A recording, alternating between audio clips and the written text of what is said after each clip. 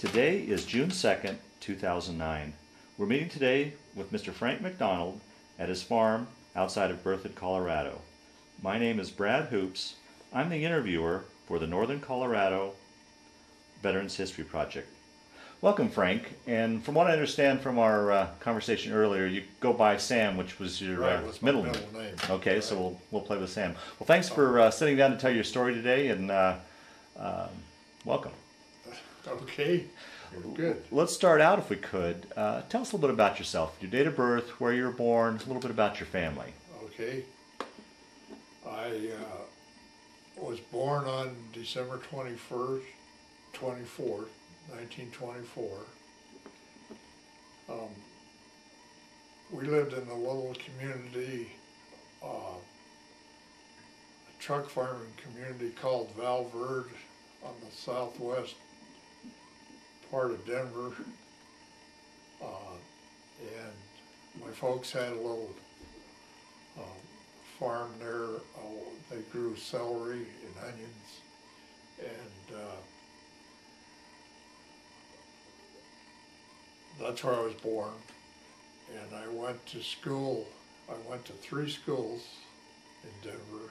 I- I went to uh, McKinley Elementary School and Grant Junior High School and South High School.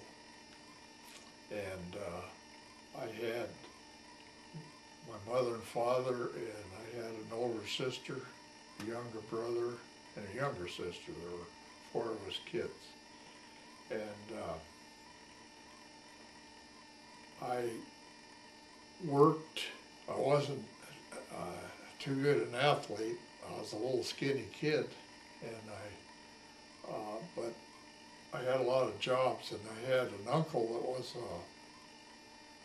a head of all the uh, custodians for the Denver Public Schools. So he got me a job as a sweeper boy, and uh, I was a sweeper boy at Grant Junior High School. And when I was a senior in high school, they were having a lot of activities in the evening at the, at the junior high school, and they needed an evening custodian to um,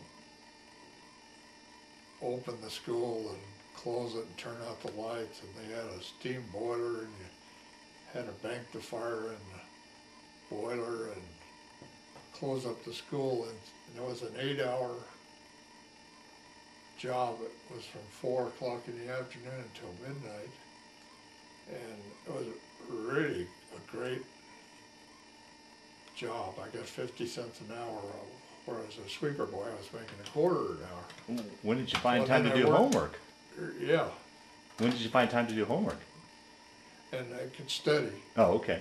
I could study uh, on the job. I had to be there at four o'clock, and I wasn't really busy all the time. I had to sweep up the gym afterwards or wherever they had a function, and and uh, mostly my main responsibility was taking care of the boiler. And I could do all that at school. The activities ended about ten o'clock at night, and I could do that and be home by midnight. And the, I also caddied out at the Denver Country Club on weekends, and so I spent oh, most of my high school years caddying on the weekends and working for the schools. And uh, um, that's about describes my and my family was you know we had a lot of fun my dad worked for the rio grande railroad and he got passes to ride on a train. So we did a lot of things like uh, uh, we'd go over to palisade in the fall and pick beaches and and uh, rode the train down practically all over the country. We took trips on a train Because we rode around on passes and and so I was a great I was always grateful to the Rio Grande Railroad for buying the groceries and Yeah. tra- letting me travel around. Right, right. So, Yeah. Which wasn't very common in those days for very Right. very seldom did people travel too far away from home. So right. yeah. And I unique. had, oh, I had another unique thing in our family, in this little community of Val Verde. Uh, the, uh, it was just like a small community and my mother had an older brother and, uh, he married my father's, one of my father's sisters. Huh. And, and so my mother was married, my mother's name was Mervyn, and she was married to a guy named MacDonald, which is my father. And then his sister named MacDonald married my mother's brother named Merman. Merman was a, a, um, my uncle Herb, he lived in Spokane and he was the uh, cattle buyer for Armour and Company. And I spent one summer with them up in Spokane. I got a pass and rode the train up to Spokane and, and uh, several times went. I had a cousin the same age as I was, was their oldest son. And so several times we went with him out to ranches to buy cattle and they saddle up horses and we'd ride out and look at these cattle. And That really interested me is, I thought, I'd like to do that. And, uh, so, he had an uncle that was my great uncle, was the vice president of Armour Company. And one of the reasons he had this good job was because of his uncle in Chicago. So anyway, I got, that's what interested me in going to school up at Colorado A and M. When I got out of high school, I started school up there. And, uh, then, uh, I- don't know what else Yeah. I could really say about Well- getting me to that point. Well, uh, let me ask you. Uh, do you remember where you were and what you were thinking when you heard Pearl Harbor had been bombed? Yeah, it was, that happened on a Sunday and I was home and I was, uh, reading the funny papers when that news came over the radio. And, uh, I, you know, it was hard to believe that, uh, first place we thought, it's funny that the Navy had all those ships bunched up in one place so that the Japs could do that to them. That was a surprise. Yeah. But such a dirty trick for them to pull that. You know, they had, uh, uh, one thing I remember, there was a, a shipload of scrap metal in a harbor out in California or someplace that was on it, it was gonna go to Japan. They were selling scrap metals to Japan. So I'm sure they were making bullets and stuff out of it to shoot back at us, you know. Uh, Uh, But that's, that, uh, like I say, I was sixteen years old at the time, and I, you know, I didn't have any idea that I'd be in the military service at all. I Yeah. thought, I thought we could blow the Japs off the map and nothing flat, you know? Then they declared war on Germany and Japan, yeah. and, uh, So after your senior year, you, you enrolled up at uh, A&M in Yeah, agriculture. I was in the horse-drawn ROTC, they had, they had a, a lot of horses, and they had, uh, caissons pulled by teams of horses, and it was, it was fun. We worked with horses, you know, and, uh, Now you said as a state grant university, you had to take that. You were required to take ROTC. Is that correct? Did you? Yeah. Okay. Okay. It's a land grant school, and all the land grant schools was compulsory that you take ROTC for two years. Okay. And then you could voluntarily, uh, uh, I guess you had to join the army. But, you know, I, I thought I fit in real well with the, uh, with the horse drawn outfit. My grandfather, uh, my mother's uh, folks had a farm at Hygiene. And, uh, we used to go see them on a Sunday once in a while. We'd leave real early in the morning to drive from Val Verde to Hygiene. Or I guess we'd go on Saturday and, we'd stay there Saturday night and come back on Sunday. And it was a real long trip. The car, we'd have flat tires on the car and the radiator boil, we'd have to put water in the radiator. It was, uh, you know, in the nineteen thirties during the Depression, uh, And those were experiences that, they were fun experiences for me. In fact, I really enjoyed growing up. We had a lot of fun. Yeah, yeah. And, um, my grandfather, uh, worked with horses all the time. He didn't have a tractor. He had two, uh, teams of horses. And another thing he did in these, besides farming, he, uh, dug basements. He had a Fresno that the horses pulled and, and, uh, so I was around horses a lot when I was a kid. And so that outfit up at Fort Collins was right up my alley. So as we were talking, uh, you're at ROTC, and there were some change of rules, and and you want to explain how how you eventually got uh, went from ROTC into the regular army, and, and go- through that that whole uh, story.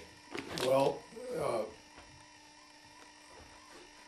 I had to register for the draft when I was eighteen. And I, so I registered for the draft in Fort Collins and voluntarily inducted into the army so I could finish the semester before I had to go, if I had to go. That, that was kind of up in the air. hmm Uh, and, uh, so the ROTC up at, they called the school Aggies at the time. Uh, they had, uh, knickers for pants and, uh, what they call them. They weren't boots, they were, they were some kind of thing, I forget what they call them. Like laced the up. gator. Yeah. And, uh, two things were World War II related in a way with, uh, they were having trouble with the beet harvest that fall because a lot of the guys had been gone in the army and uh, there was a shortage of help, so, uh, if you, if you signed up, you could go work in the beet harvest for a week. And the way they harvested beets at that time was they plowed them loose and then you went along with a, a beet knife and picked up the beet and cut the top off and threw the beet in one row and left the tops there. And they had a lot of, of uh, Mexican immigrants that worked in the beet harvest, and I worked, the first day I worked, uh, there was a little Mexican lady working alongside of me. And I think I topped a ton of beets in the day, and she topped something like twenty tons. Really? Yeah, she was fantastic. Uh, but it was a labor intensive crop at that time. And then they, they picked up the beets and put them on a wagon and took them to a beet dump. And, uh, they pastured the tops. They put lambs or cattle out on the beet tops. then also the ROTC at Aggies ushered at the National Western Stock Show. And they had, they, they had, uh, an Aggie ROTC guy and a West High School pep club girl. The West High School pep club girls had black cowboy hats and orange blouses and black skirts. They were cowgirls. And uh, so I got to go down and spend a week at the stock show. So I had a good time that first year. And the military part didn't bother me at all. I enjoyed that. Good. So then I, I went in the army. I got notified while I was, I was getting towards the end of the semester that I was to report to Fort Logan on a certain date. Were you able to finish out that semester? Was it what? Were you able to finish out that semester? Yeah, I was Okay. able to finish out the Okay, semester. okay. so. And so then I went to Fort Logan and, uh, got sent down to Texas for basic training. Did do you remember that day when you shipped off? Were your folks there to see you off, or uh, Uh, no, I was, I was only in Fort Logan a week. I, I did have an interesting experience there because I had an aunt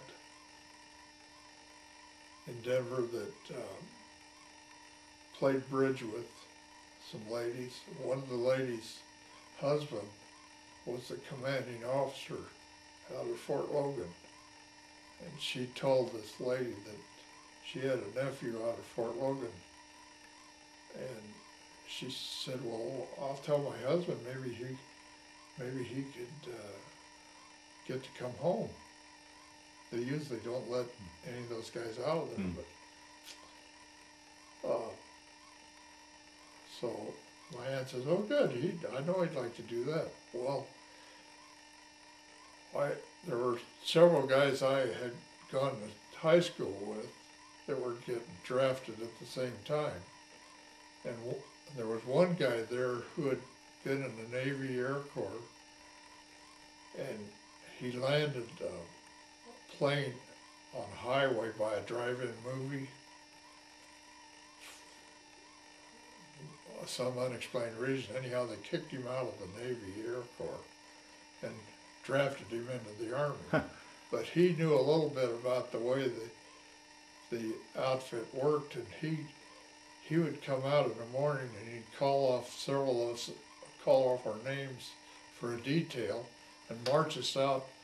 There was a, a, a big, huge lumber pile not too far from where the barracks were, and he'd march us, we'd have a magazine or a newspaper or something, he'd march us out there. And we didn't have to serve on any of the other details that they called. And that was out there when the officer, commanding officer, wanted to see me to let me go home for the oh, day. They couldn't find me. And that caused a big rhubarb, you know, we came back in at night, and there's calling out my name, you know, and I said, here I am. Well, right away, they sent me in to see this officer. He said, we've been looking for you all day. Where were you? Nobody knew where you were. Well, I was over a barrel, you know. Yeah, You couldn't snitch on the guy that led us out there. I said, well, I was there, I just never heard my name called. He said, well, that, that's your problem because you could've gone home. You can't, you're gonna leave tomorrow. Oh, Peter. So, but that was, I thought, boy, I gotta, you know, I'm gonna have trouble in the army if I have any more deals like that. Oh. So, so the next day you shipped off, and you said to next Texas day, for. yeah, Uh, And that was in, that was in April. And Here in this area, we still had our winter uniforms on. And, uh, we got on a train and they took us down to Mineral Wells, Texas. I thought, I'd ridden the train several times before, and I thought maybe there was a steam pipe broken or something, it was so hot in the car. And, uh, we got off the train and it was just as hot outside as it was inside. And it was really hot down there in Texas. But they had a really good program. We, uh, by the time I finished basic training, I, I was in such good physical shape, I felt like I could whip anybody in the world. Uh, It was really, they really did a good job. now, you said that uh, while in college in the ROTC that the military part of it really didn't bother you. How was it now that you're in the regular and went through basic? How was that transition into into the? I, you know, it was, uh, there was such a good, they had such good personnel down there. And, uh, they got us in good physical shape. I didn't, I, uh, uh, you know, we had to work all the time. They kept us busy. We get up at daylight, you know, and go to bed when it got dark. Hmm. And we were doing stuff, all, you know, we were learning how to fire rifles and hiking and, uh, doing KP and all that stuff. It, I, I don't have any bad memories at all about basic Yeah. training. Oh, good. So then, where did you go then from basic? Where? And then from basic training, went to Philadelphia to the Drexel Institute of Technology in this ASTP program. Now, was that something you had to test for, or how did how did you Yeah, get into they- that program? How did they, they- choose? They, they, uh, uh, gave us examinations and basic training. And, uh, and it helped me that I'd been in school for a year because I knew a little bit about taking tests and stuff. So they notified me that I was eligible to go to the ASTP. Which you said was an engineering program. Yeah. Okay. And, uh, so, also at the time, they started the tenth Mountain Division, and they built Camp Hale up by Leadville there. Uh, and there, were- it was gonna be a ski trooper thing. So, I wrote while I was going to Drexel, I thought, you know, I think I'd, rather than go to college, I'd rather be in the ski troops. So I, I wrote and I got a card back from them that, uh, um, since I was in the ASTP program, there was a question about the, uh, continuation of that program, and until that was determined, uh, I'd have to wait, and then I could find out if I could maybe get in the ski troops. It was a real nice letter, the Mhm. guys were, and, and of course then when they canceled the ASTP and sent us all to different infantry outfits, uh, I couldn't, I lost my chance to try to get in the ski troops. Uh, So, the ASTP, you know, there, there are a lot of really good men uh, that were in the ASTP. And uh, it's just a shame how many of those guys got killed, Hmm. you know. Uh, really eighteen and nineteen year olds were probably, I'm sure when looking back on it, the army thought those are the guys that can, that, that can withstand all the physical stress and everything that for frontline riflemen, you know. um, Any frontline combat troops, because like, once we got in, into combat, we couldn't, there was no facilities, for instance, to take a bath. And they would, uh, we would, uh, when we go back to a rest area, we'd take all our clothes off and, and they'd spray us with DDT. Jeez. That was our bath. They keep supposedly keep, kill the bugs and stuff, and they'd give us clean clothes. And uh, Well, let's back up. We'll, we'll get into these stories. Let's back up. Uh, uh, after the uh, the program was disbanded, then you were sent into the infantry. Where did you go from Philadelphia then? Uh, we went to uh, Camp Claiborne, Louisiana. now, did the whole college go together, or were they disbanded throughout? Uh, did you guys pretty much go as a group, or Most of the guys from Drexel went to the 84th Division, okay?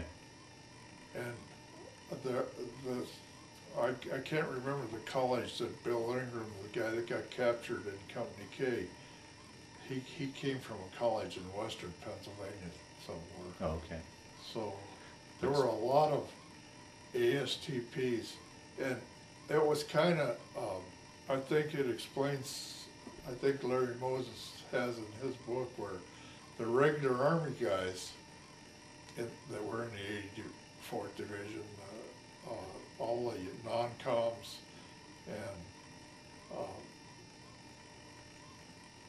most of the uh, other guys that hadn't been in ASTP, kind of, there were kind of two different groups of guys. They, the regular guys kind of resented in a way that they got all these college boys all of a sudden, you know, until that leveled out after a while. But that, that, that was one of the problems at the start of that when we first went to the 84th Division. And the Army at that time was still segregated. They, uh, all the blacks in the Army were in black outfits. They had white officers. But they had a black outfit of some kind there at Camp Claiborne. Uh, but there again, they kept us real busy because they were getting ready to, you know, we were taking tropical type training. We, So, did you have kind of the impression you were heading to the Pacific then? Yeah. Uh, they, uh, we, uh, sleep out when we were, we spent a lot of time out in the field. And had mosquito nets and water rationing, training and, and, uh, Louisiana was something else. They, they had storms down there and we'd be sleeping out, we'd have to, it would rain so hard. We had, uh, we had to prop our head up on, on s- somehow to keep her head up out of the water, so if we were sleeping, we wouldn't drown lying there. Uh, It was really an experience down there in Louisiana, and then they, uh, they sent us to Camp Kilmer, New Jersey, from Louisiana. And that's where we got on a ship to go, we went to England. We thought we were going to the South Still Pacific, yeah. because we've been doing all this tropical right. stuff, you know. Uh, And then the rumor was that we were gonna be the army of occupation. We'd go to England, and when the war was over, we'd be the army of occupation. well, let, let that me. didn't pan out because they took, they, they, they had gone from Omaha Beach through France. By Okay, so we, Okay. by the time we went across the, we went across the English Channel in a British ship and got off on those assault boats that went in, because they didn't have a dock or anything at Omaha Beach then. And then we had to wade in uh, from the uh, assault boats into shore, and then we, we hiked for about three days. How soon after D-Day was this that you guys landed in France? This was, uh, in, uh, this was in October Okay. and D-Day was in June. Right. Well, let me back up too. I, I want to ask you. Uh, uh, here's a guy that grew up in landlocked Colorado. You, you get on the ship uh, to cross the, the Atlantic. How, how was that crossing? Did you get your sea legs? How did that work? Uh, what was that? That was an amazing thing because we were on this, uh,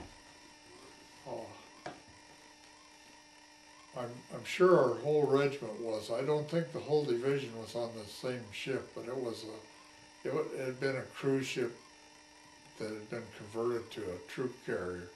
And the bunks on that ship were in the hold five high. There were five guys. And guys would get, the guys that got seasick were usually in four and five. They'd throw up, and if you were in three, two, or one. But I spent most, it took about twelve days for us to cross the Atlantic in a huge convoy. And uh, the Queen Mary was a, was a big cruise ship at that time that the Army had taken over and they painted it all gray. Uh, the Navy looked like a Navy ship, but it was, it was the ship next to us. Uh, and the convoy ship, there were a lot of Navy ships, and they would change directions all the time. Because of the uh, But U-boats? it was, it it was in September, and it was nice weather, and, uh, I spent most of the time, I never did get seasick. No. Uh, we f- got fed twice a day, and they had, uh, um, a, a mess hall thing where you'd go through a, a buffet like line with a tray, and you'd come stand at a, at a counter. There'd be a row of guys, that, and, uh, the ship, sometimes tip a little, that's another thing, if somebody gets sick, they'd heave on their tray, the ship would tip and the tray'd come down. That was, and, uh, I spent most of my time, even at night, I stayed out on the deck. I, you didn't have to go down and sleep in those bunks. I tried that, I always seemed that, that I got in one, two or three. Guys above me got sick, but, uh, um, that was a, you know, a real experience going over there. I bet. Was there any worries about U-boats at the time? And did you ever? Yeah. Concern they- yourself they- about- Well, they never did, we never had any problem that way at all, Yeah. not, nobody ever threatened that convoy at all. That must have been a And sight there to were still U-boats around because after we had gone across the English Channel and, and I was, I was gonna say after we hiked for about three days, then they, they had trucks that picked us up and took us into, uh, uh, close to the German border. And we were either. now, now, did you go directly from the states to, to France, or did you go to England first, or how how was your We routing? went to England first, and we Okay. were in England about a month. And, uh, we were in a camouflaged kind of a camp, they had, they couldn't tell that there was a bunch of soldiers there because they had, well, uh, you know, they didn't have anything that looked like a bunch of barracks Okay. Okay. And, uh, we did, I got to go to London one time on a pass while we were in England.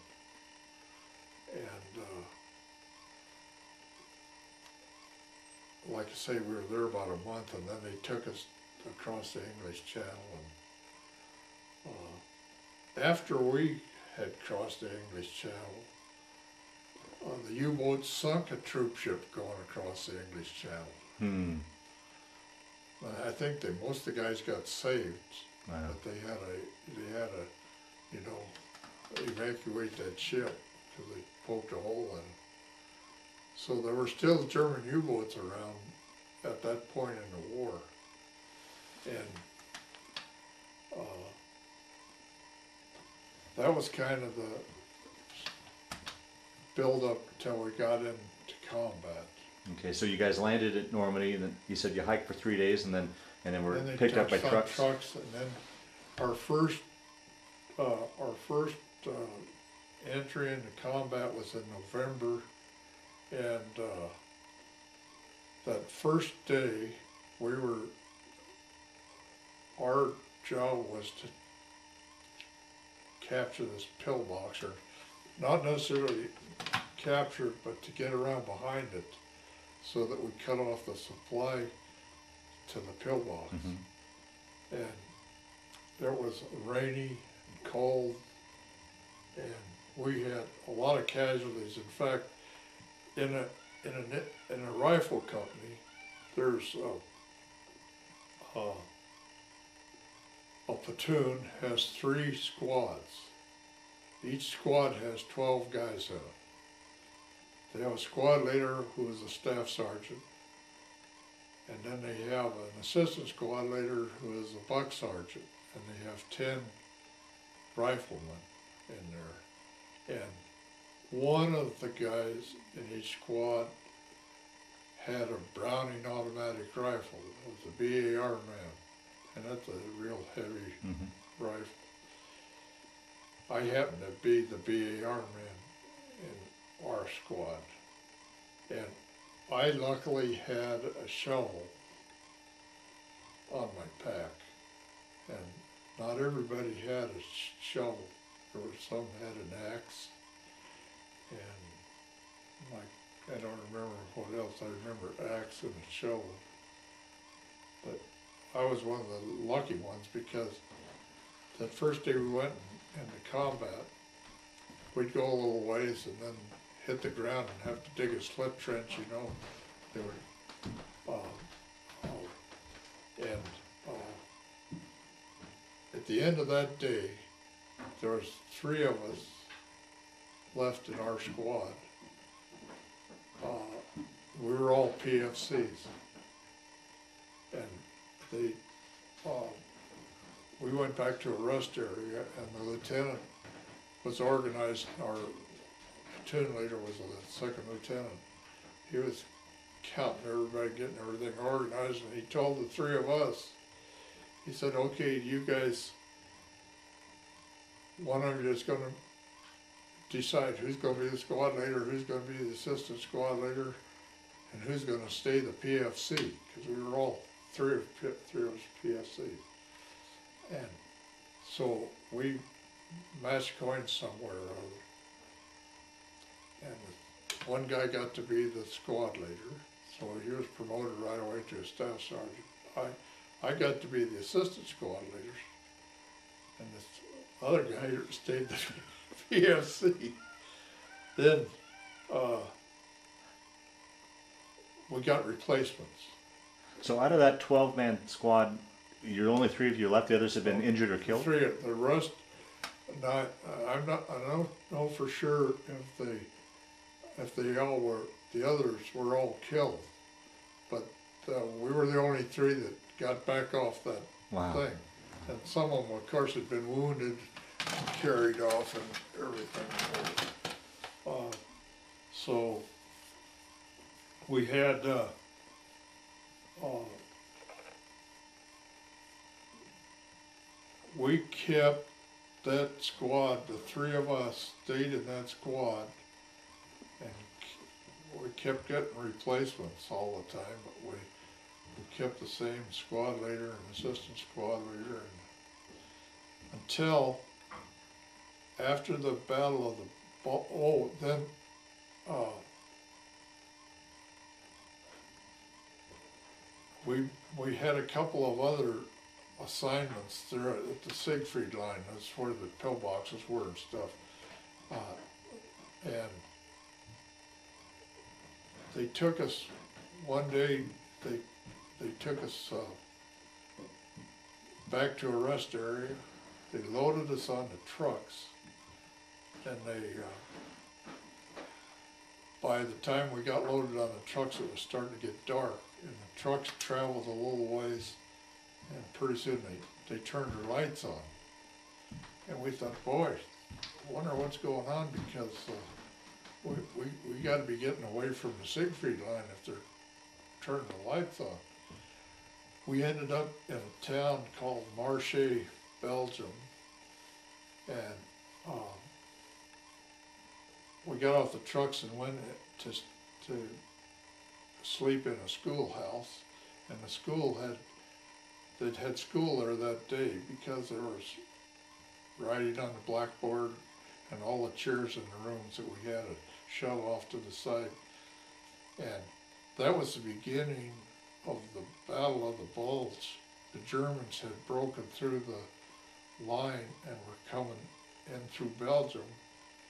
And of course, we didn't know what was going on, but they took us down there and they, they had, uh, the Germans had guys that spoke English, had American Army uniforms on. They even had MP bands on their arms. And some of the trucks that came, the Germans sent them down the road and captured the guys. Wow. Ah. You know, that's how, the, that German Bul- Bulge offensive was something else. Well, the next morning, they, they took our platoon, our company, they gave a line to set up a, a defense there. And our platoon got up on the top of a hill. And there was another platoon there were, there were three rifle platoons and a weapons platoon.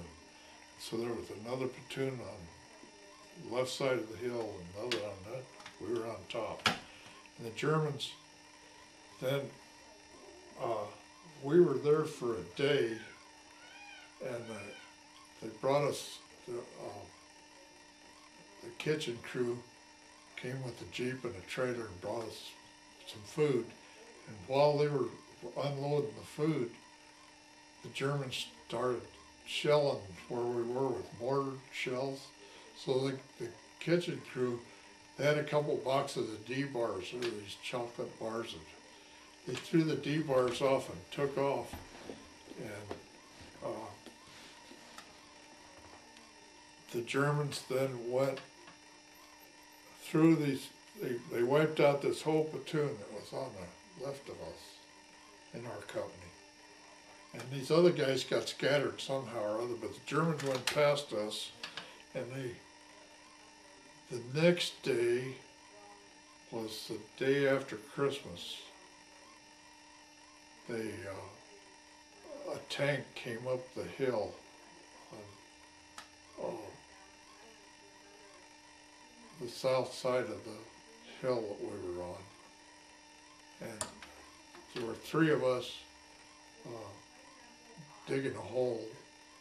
The lieutenant wanted us to have a hole out in the middle of this field that we could be in at night and see anything that might happen on the field. Because he didn't know, but we, you know, we lost all communications with the company commander and everything. Wow. And I was sitting, we had the hole,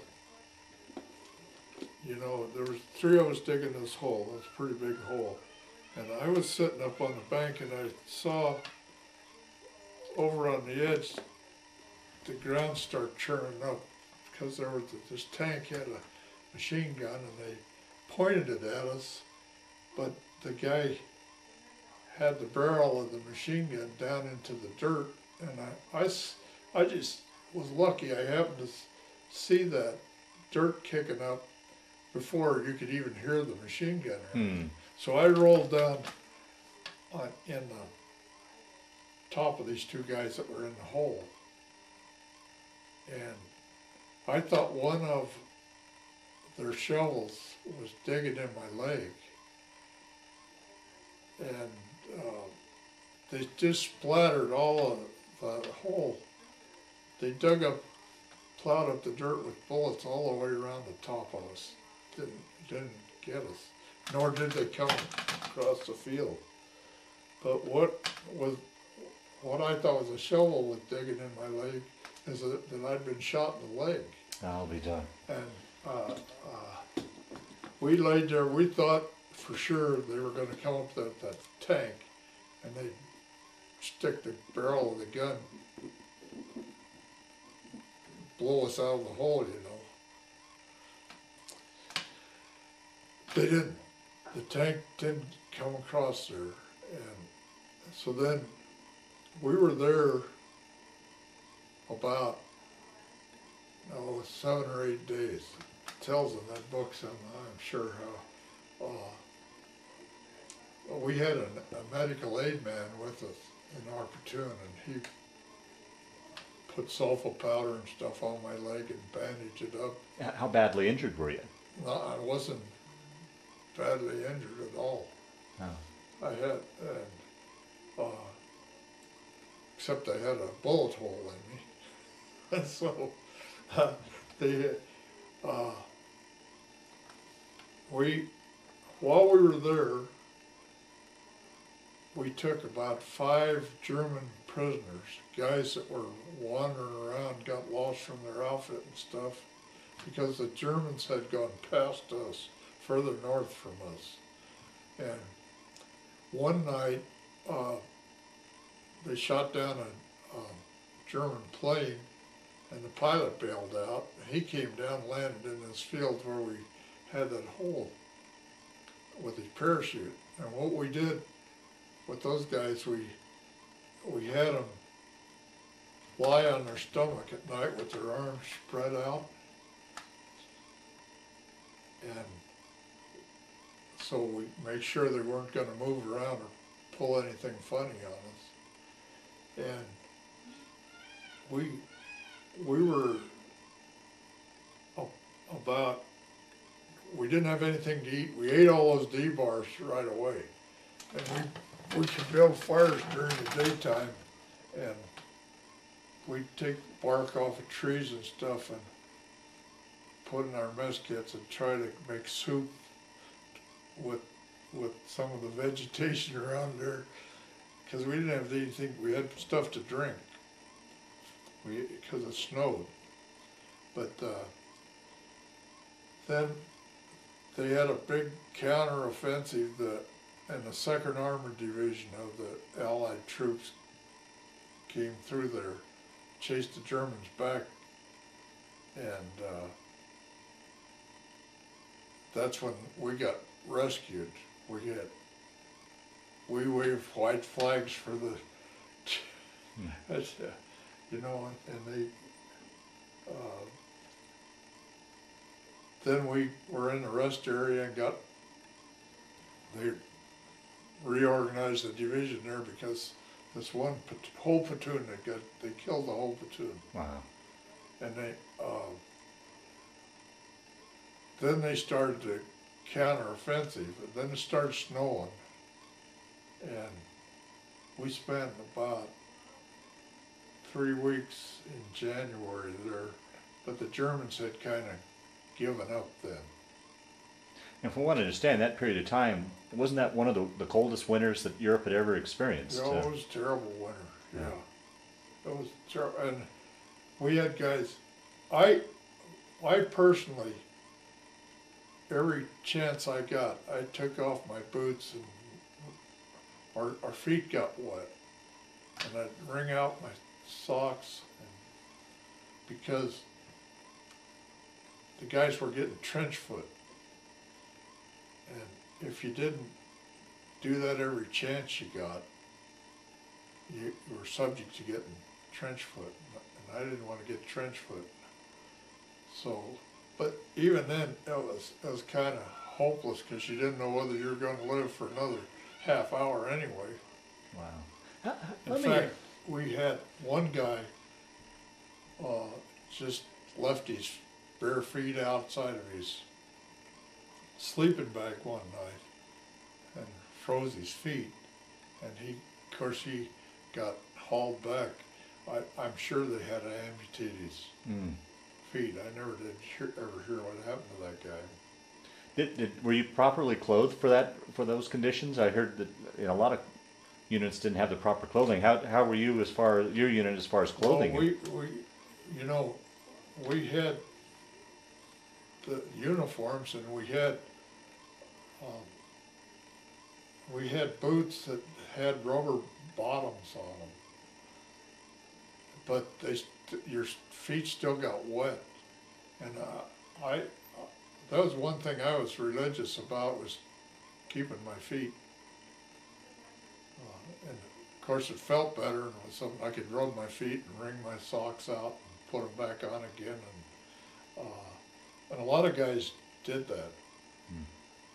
The three of us that were in, that were survivors of that first day, we, we all, all three of us did that all the time. And, uh, the rest of the guys in our squad all the time were replacements. Uh, s- Some of them stayed with us the whole rest of the war. Some of them didn't, but they, they had, oh, oh. After we got through, we, we had a couple of, uh, attacks we were on. After we got rescued from that, being surrounded there. And then, uh, uh, one interesting thing happened, uh, was one of the guys in our squad, and I was the assistant squad leader then. And one of my jobs was to make sure that every, I was the follow-up guy, and make sure that nobody turned around to run back. Oh, one of my jobs was to keep everybody going, following. Squad leader had to lead. Everybody had to follow him, and I'd make sure that everybody followed him and did what the squad, whatever the squad leader wanted. And this one guy told me, he says, like, he says, I, I can't, uh, he says, I, I can't go because I know I'm gonna get it. Somehow or other, I got the word from upstairs or something Yeah. that I can't go.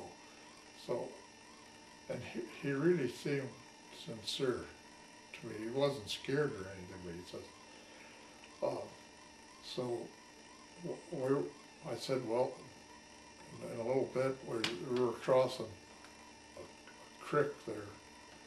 I said, why don't you just trip and fall down? And I'll send you back that's the way you feel, because you're not gonna do us any good anyway. So he did, but we sent him back. So he survived that particular thing we were on. And later on, uh, about a month later, uh, we were back in Germany again there. And we were on a, some, we were filling our canteens with water and we were spread out going to where the Lister bag was. And, uh, mortar shell fell almost a direct hit on that guy. Is that right? Uh, So whatever feeling he had that he was gonna get it in Belgium, he ended up getting it anyway, which is, you know, things like that happen, make you, make you wonder what, what's going on in the world, you know? well, that, let's let's talk about you personally. How did how did you deal with that as far as uh, the fear and, and and can you talk about Oh, what it's like to be in, in battle? For I mean, I have, and probably many that will view this have no idea what it's like to be in battle. How you how you function in something like that? What uh, what's going through your mind, and what are you thinking? so scared and uh, you kind of felt like well you know if i'm going to get it i hope i get it right between the eyes so i don't know what's happening there was they they call it million dollar wounds and ten thousand dollar wounds. The ten thousand dollar wounds were, that's what your life insurance was, your folks got the ten thousand.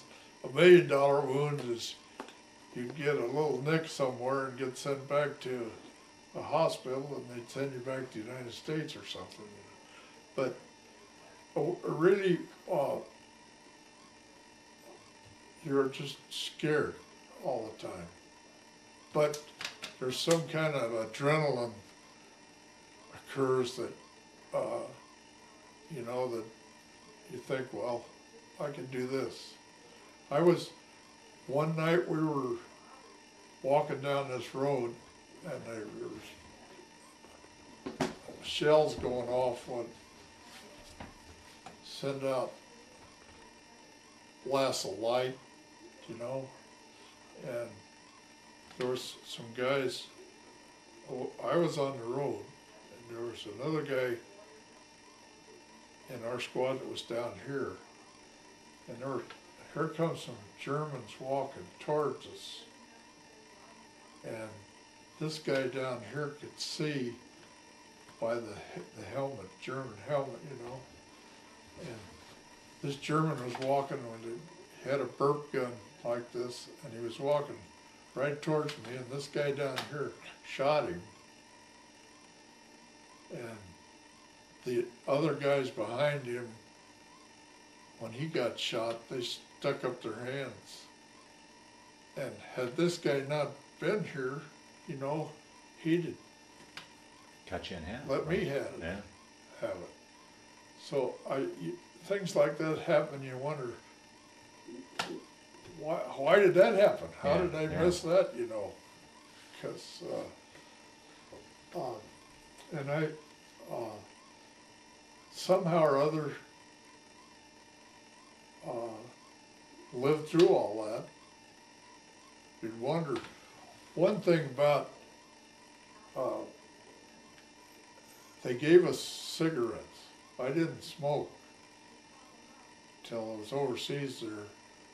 But the end of the chow line, when we'd be back at the rest area, they'd have a thirty gallon tank, a can full of all different kinds of cigarettes.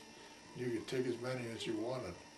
And most of us had, we had those cartridge belts on and we'd uh, replace a cartridge of ammunition with a pack of cigarettes. And we'd smoke, well, we'd be sitting in a foxhole, a couple of us, and one guy would smoke a cigarette, and when it got way down, he'd fire up the next guy's cigarette. We'd, we'd sit there maybe for six hours smoking. We'd smoke one cigarette while the other guy was resting and then light up his cigarette. And it was, you know, I don't know how I lived through all that because like, didn't brush our, we never could Well, brush that's, our that's another question I got to ask too. Is how, how do you think you physically managed through that time? I mean, you were obviously weren't eating probably very well. Sleeping conditions had to be awful. The weather conditions were awful. The hygiene was awful. How did I- physically? How did you make it? physically, you know, we would sit there and shake for hours at a time. That's what I say, you had, we, we figured, we, we figured, uh, we call ourselves cannon fodder, cause we were eighteen and nineteen years old, you know, that would, was, it's hard to explain how you could, how you could live through that like dusting you off with DDT, Yeah. giving you clean clothes and, and, uh, an- another thing, uh, that if you were lying down there pinned down, you had a poop, you poop, then you had to roll over and smash it all down and as thin as you could so it'd dry out. And that, that, that's kind of, those are the kind of physical things that's just unbelievable, you Wow. know. How often would you get pulled off the front line to go back for a rest in R and R? Well, it was, it was pretty often they would do that. I mean, they, they, uh, sometimes we would, uh, be in those, we'd dig a foxhole and we'd be there for maybe two days or something like that. The squad leader uh, would have to get, um, the K rations or the C rations or whatever, and make sure and, and find out where we could get water and everything. That was one of the squad leader's responsibilities. And after we, after we got out of the bulge, took, we went to Holland and we were gonna be the assault outfit across the Roer River. So we had to take riverboat training, and they had these boats that had flat bottoms on them, and they had, they held twelve guys. And so we stayed in Dutch homes during the daytime. At nighttime, they took us out to this river to practice with these boats. And uh, we stayed in a house of a Dutch coal miner and his wife, and they had a sixteen-year-old son that uh, uh, spoke English. Uh, they, they were happy to have our squad in their house because they brought food in to us at night, and we gave them all the food they wanted. That coal miner guy, we'd come in with these muddy boots and wet clothes and all that stuff from practicing getting out into the river. Before he went to work in the coal mine, they were still, the kid was still going to school. Hmm. And, uh, uh, he cleaned off all our boots and stuff before. We'd, we'd come in there about three or four o'clock in the morning and then go in, and go to sleep. And we stayed in the house all day, so, um, I, uh, I, uh, when I got home, I kept corresponding with that couple. They couldn't speak English or write English or anything, but their son Uh-huh. answered for me. And he kept, they, they eventually died, but he, we sent each other a Christmas card every Christmas. And then in nineteen ninety-four, they came over here to Berthoud to see us. I'll be They were-. They were here for three weeks, he and his wife, and we had a really good time with them. Ah, And one of our neighbors that have a dairy over here, uh, Brad Pickett's his name, and he, his wife's name is Deanie, and she was from Holland. She spoke Dutch, so she could talk to his wife, but Leo, the guy's name was Leo, he spoke German and French, and he, you know, he was real. Um, so, anyway, that was a, a neat experience I got from that deal of the Yeah, riverboat yeah. When we, when we, the morning we crossed the Ruhr River, we got to the, where we were gonna cross about, uh, one o'clock in the morning. And they shelled and bombed the, the German side of the river for four or five hours, it was just something else. ah, And then we, we went across the river. Our squad leader was one of the, the three of us. He's the first guy out of the boat. He starts running up the bank and he got shot, killed him. The, the rest of us scattered around, you know, but then that meant that I was the squad leader and our PFC buddy was the assistant squad leader. ah, And that happened there at the crossing of the Roer River. And so then he and I both were two of the thirteen guys that we, we were still there at the end of the war. you were saying earlier, uh, out of what, 184 people that left uh, the camp in Louisiana, there was 13 of you left. Thirteen of us That that had been there all the time. Some of them had been wounded or had gotten sick and had went back had left and came back again. Okay. So, uh, it was only the, there was only the thirteen of us that had been there all the time. Wow. And my leg had, you know, uh, I didn't have to go to the hospital or anything. Were you awarded the Purple Heart for that? And I got a Purple Okay, Heart. yeah. okay, okay, good. And I always was, you know, haven't bragged too much about the Purple Heart, but I'm gonna let the cat in. Yep. Um, So,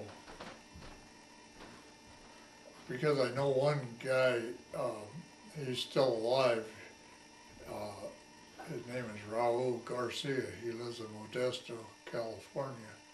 And I met him at, uh, he was in Company I, and Larry Moses had gone to see him and talked to him. But he had gone, gone away from the, uh, he wasn't in the thirteen, but he, uh, uh, because he'd been out of the unit for a while, on maybe some of the major battles we were in, or something, been assigned to something else. And so he wasn't one of the thirteen, but he was there at Camp Claiborne. And, uh, he was, uh, there at VE Day, but he had not been totally with the Oh, right, the whole right, time. right. So where did you guys from the Ruhr River then, uh, continue your story Okay, from in there? the Roer River, then we went to a, a, a little town. And see, I hadn't been a squad leader for too long then, because this was right after we crossed the Roer River.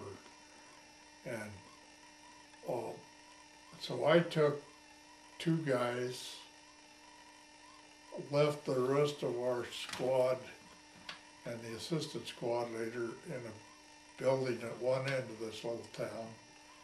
And I took two guys and we went down to the other end, and there weren't, we, there were no Germans there at all. And we were in this house.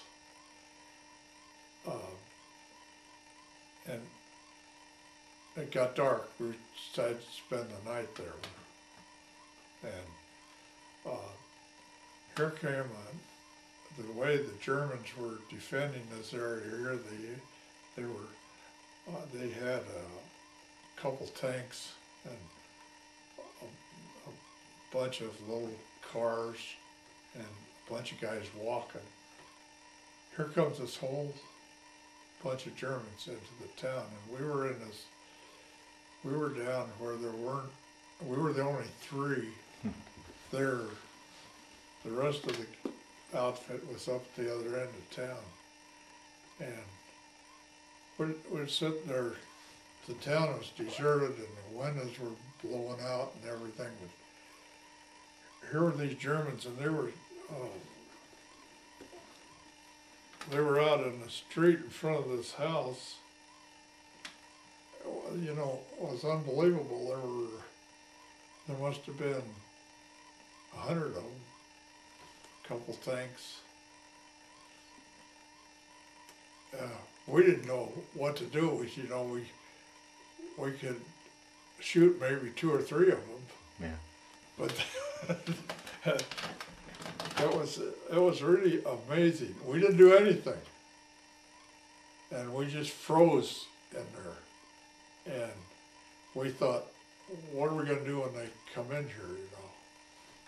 We're gonna surrender, or we're gonna shoot, shoot one for one, or what do we do?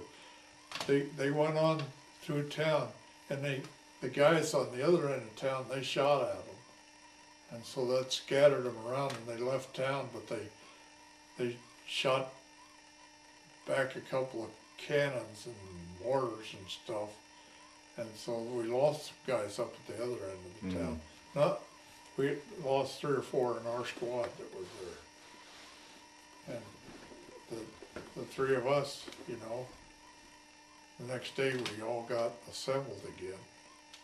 But it's weird experiences like that that, you know, I could have reached out and touched one of those guys. wow, uh, And, uh, but anyway, then we went across, uh, first, uh, we were in a convoy all loaded on trucks. And we saw our first jet airplane, a German jet flew down and started strafing the convoy. And our driver went off in, into a field. And that was, that was a scary thing because when one of those jet airplanes, nobody had ever seen anything Right, like right, that right. before.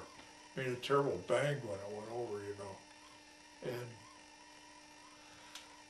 they didn't do too much damage and that, that was just a real quick thing that they did.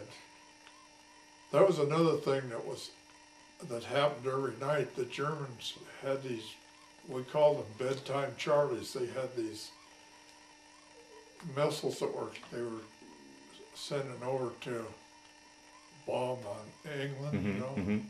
Every night we'd hear those motor bombs going across the sky. Wow. It even even though though in the in, in Belgium during the Bulge, there were a couple of days when there was a clear blue sky from border to border, and the whole sky would be full of airplanes flying over to bomb Germany. That must have been a sight. Unbelievable sight. All the bombers and fighter planes and everything that Wow. you know, covered the whole sky. All, I don't know how many, what, no way you could count how many planes, which is a tremendous, tremendous sh- display of force. Wow. And, uh, we went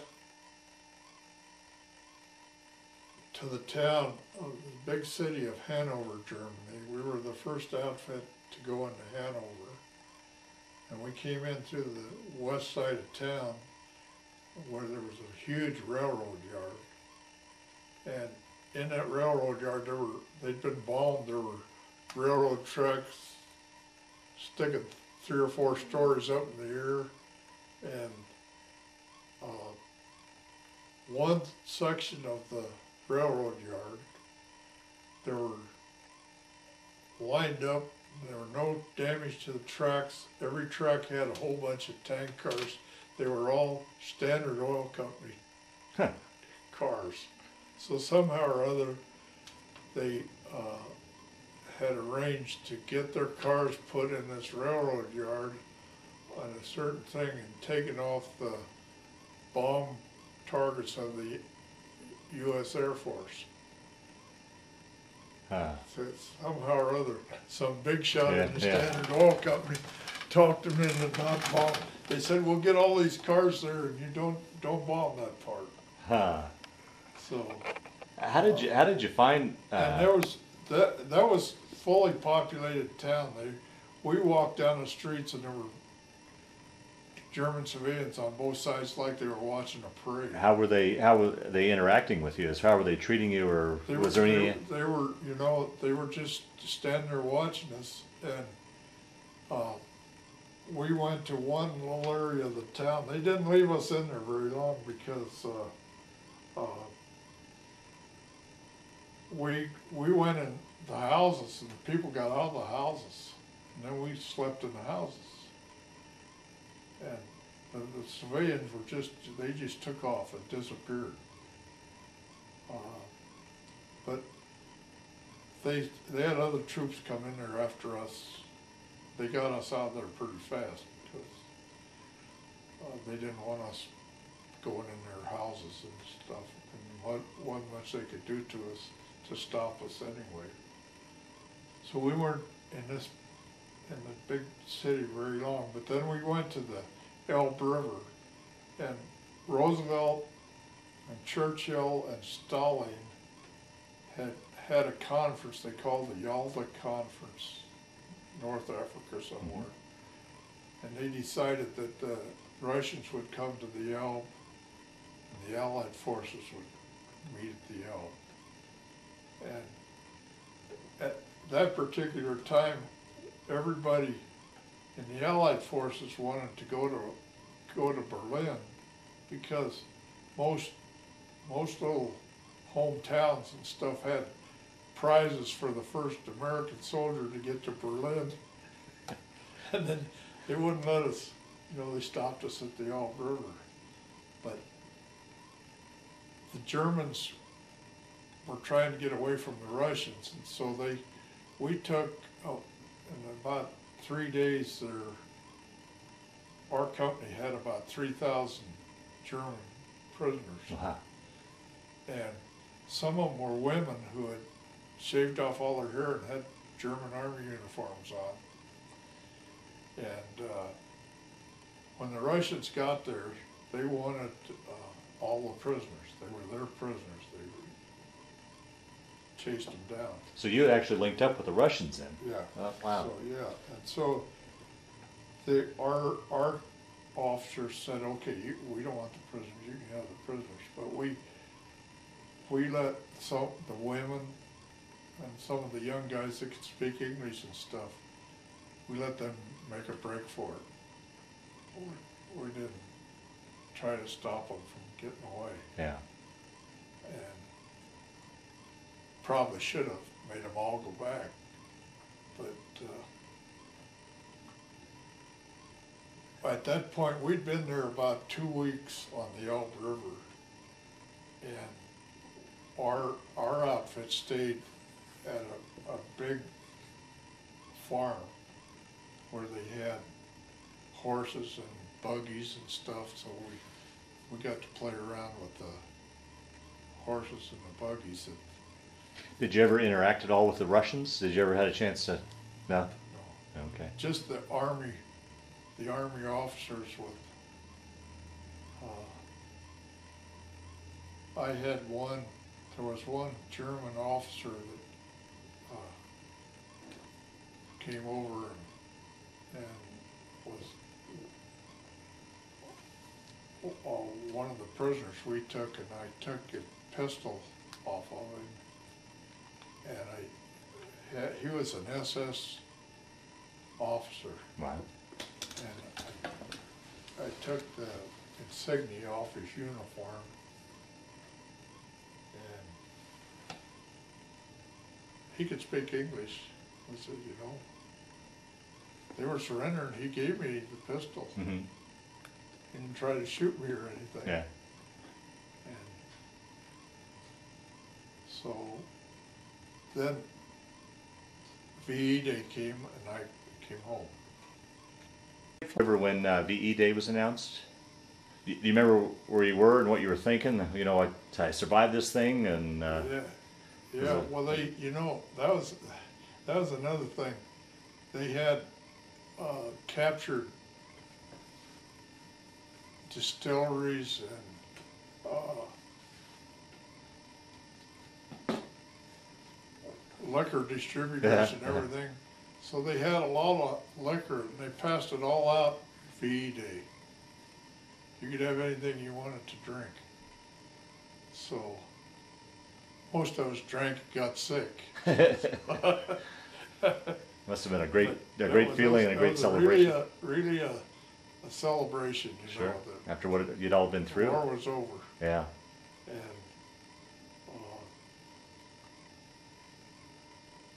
we had, that, that was after, of course, the VE Day was after we'd taken all those prisoners and Mhm. given them back to the Russians and never, you know, that was, and that was in the springtime, it was pretty nice, that was, that was a good feeling. So uh, after that was announced, then did your unit stay on as occupation force, or where did you move from there? Where'd you go well, from there? that, then, yeah, that's, oh, I was, I was there for, uh, uh, six, six weeks after VE Day because I was number six to come home.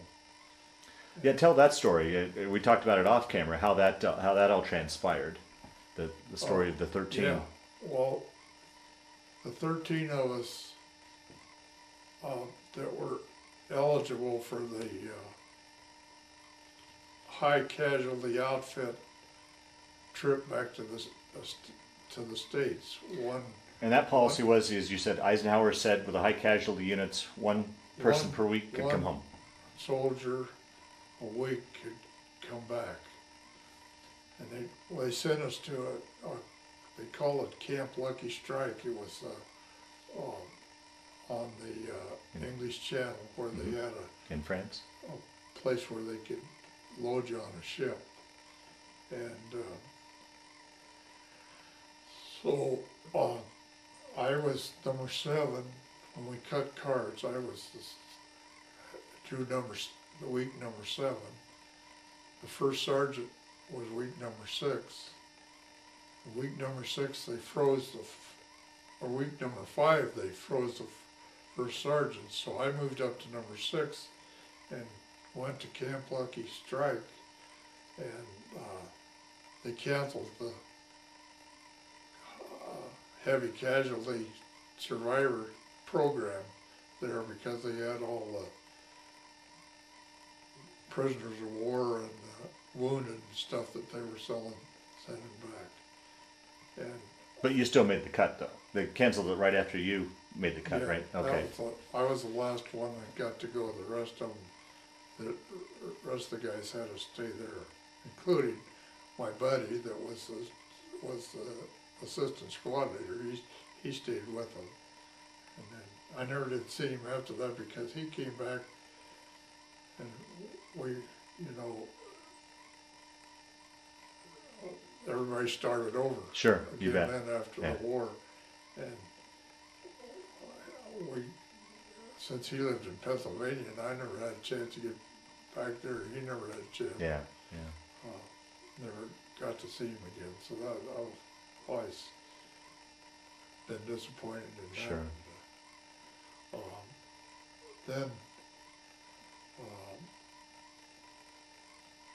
when I, I, I ended up being in the, assigned to the Infantry Basic Training Center at Camp Robinson, Arkansas. So it's kind of kind of funny how you were saying how uh, you thought you were lucky to make that cut, but while you were in, Yeah. in Arkansas, tell us about what, what the rest of your unit was doing. Yeah, well, while I was, uh, back in the Spit and Polish Army, uh, training new recruits, and that was an experience in itself for me because I had become a staff sergeant, but not because of my going to a corporal Right. thing and training guys, giving commands and, uh, you know, directing guys in close order drill and that kind of stuff. Mine was a whole different deal, but, uh, that's what I was doing. All my buddies in the eighty-fourth were touring Europe. They, you know, cause the war in Japan, that, they only last, July and August, they were sweating it out going over to South Pacific. So yeah, so initially you thought you were lucky because of, uh, there was a chance that you guys were going to get transferred to the I South did. Pacific. I figured, Yeah. you know, if I ever got back to the United States, I was never leaving again. They would, Yeah. you know, uh, I'd desert the army before I go overseas again. so, uh, that, but then I, that's where I got discharged was at Camp Robinson, Arkansas, And that was December of '45. in December of forty, December fifth of nineteen forty-five. I got, I got discharged. Now, now had Some you, of the guys, now this, my, my buddy that was the assistant squad leader, his name was John Deffer. John, they, he stayed over there with the outfit. They came back in, in nineteen forty-six, early part of nineteen forty-six, before he got discharged. So I was lucky because I was back here and, uh, I had enough points to get out. now that whole time from the time uh, you left Fort Logan till you got discharged, uh, you'd missed that one chance to get home. Had you been home at all between that period of time? Had you had a chance, any sort of leaves to get home at all bef- in that period of time? Yeah, well, when, right, when I, when I, uh, um, when I came back, from Oh, okay. Camp, Lu- uh, Camp Lucky Strike, I got on a, on a uh, Liberty ship. And how was that crossing? coming back? Liberty ships were ships that were built real fast to, to uh, haul food and troops and stuff. Right, And uh, uh, most of the passengers on there were prisoners of war or wounded. And we were, started out in a convoy across the North Atlantic. And uh, the, oh, not soon after we started in that convoy, they canceled all the convoys. Every ship could go on its own. There wasn't any threat anymore Mhm. from, okay, uh, but that was before the war was over with Japan. But the, still, the Atlantic Ocean, they figured there wasn't any problem. right, okay. So then, we got in a storm in the North Atlantic. And, uh, uh, we were on that Liberty ship, I, I suppose the hazard of us not making it through that storm was worse than, or just as bad as anything we've been in Wow. the rest, because they had, I- and I, I don't know how I could determine this for sure, but they supposedly, we were in a storm where they had seventy foot waves. Well, seventy foot wave is seven stories high, but they, they were huge. So when we'd be at the top of the, of the wave, the bow of the ship and the propeller were out of the water. Water, jeez. That's how, and that, Liberty ships were pretty big ships. And then you'd go way down and there'd be water way up there, you know. Uh, Uh, and you, you know, I didn't get seasick either time. I'll be darned, Yeah. uh, So, uh, it was really something to come back in New York. We came back in New York Harbor and Everybody statue. ran to one side of the ship and the ship was tipped up like this. They had, they kept announcing get spread out, don't get off that side of the ship. But there were boats out there with bands on them, you know, and, and waving flags, and Uh, everything for every troop ship that came in. See the Statue of Liberty Yeah. there? That was, oh, that was a real wow. and then to get on the train to come home, to come back to Denver, nothing, there, all the roofs were on all the houses, all the chimneys, all the streets, nothing, nothing torn up at all, you know, like it was in Europe. it Yeah, right. all Just blown to pieces over there. Uh, And you'd see a, a sewer pipe up a couple stories high with a toilet on it, you know, that'd be the only thing sticking up there like a wow. flagpole. And just, just terrible destruction everywhere with the, it really was a funny feeling to see the United States, so everything is perfect. I'll be darned. Do you remember when you got into Denver and homecoming and seeing your folks for the first time? What that. What that was like to They- be they- home again? And They, I, they took me to Fort Logan, I get, and my dad, my little sister came and got me out there at Fort Logan. That was really quite an experience. And then my dad, he, we went up to, uh, Rocky Mountain National Park to, uh, can't think of the name of it, there was a lodge up there where you could go fishing in Rocky Mountain National Park. Spriggs Lodge, I think is what they called it. I don't know if Spriggs Lodge is still there now, Yeah. but my dad had a, a week. We, we went, my dad, my mother, and my little sister were, went up there for a week right after I got back from oh, that must have been nice. overseas. That was really something. We were going fishing every day, you know, and all. Uh, It was, it was in June, so it was kind of weather like this up there, but it was still pretty wonderful, you know. I'll bet. And then I, I went to Camp Robinson and got out. And another buddy of mine that I'd gone to high school with, he'd been, he was a B twenty-five pilot over in South Pacific. And he got discharged in December also. And he had a Model A Ford Roadster. And he and I took a trip to New York City in that Model A Ford. Oh, oh, that had to be an adventure. And he, he was an officer. He had, he, uh, I took my uniform too because we could go, if you, if you, uh, had a uniform, you could go stay in a YMCA for fifty cents a night or something. Uh-huh, uh-huh. We, we, took this trip, we were gone about a month. We went to Detroit and watched them make cars and, and, uh, all over the place back there in the Model A Ford. Wow, wow. So, so, then I went back to school at, at Aggie's on the GI Bill. And that was pretty nice because, uh, they paid for your tuition, Yeah. your books, and give you a certain amount of money to live on and stuff. It's really nice. And then I, while I was up there, I got, uh, got acquainted with a guy who had a ranch up north of Fort Collins and he, he wanted to go in the, uh, polled Hereford registered cattle business. And he had a son-in-law that was living on his ranch.